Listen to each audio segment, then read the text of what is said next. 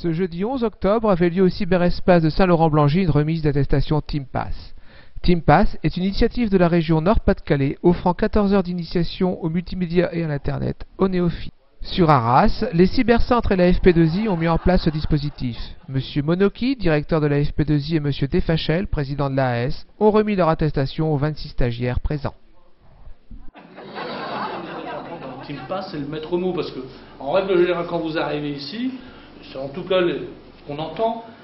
Pour certains, la souris, aller sur Internet, l'ordinateur, on a peur que ça. On ne sait pas si ça va pas bon d'ailleurs. on a un petit peu peur. Qui vous a amené à passer le Team Pass ici Euh, bah, je souhaitais, c'est parce que ma fille est souvent sur, euh, Sur Internet sur Internet.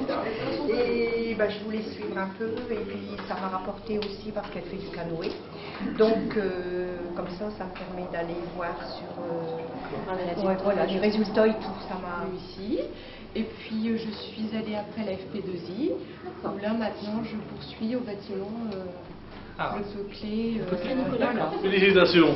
Je vous remercie. Alors, comment vous avez entendu parler du TeamPass Euh, Moi, c'est en allant à la caisse de retraite, dossier de retraite, la CRAM, j'ai vu des affiches. Ah. Or, comme j'étais, j'ai pas voulu rester contextée en disant bon, maintenant on est senior, on a passé 60 ans, il faut quand même se mettre aux nouvelles technologies. Vous avez entendu parler du le forum des associations. D'accord. Voilà. Bah, ce forum est actif pour. euh, Oui, oui, oui, oui, oui. C'est bien.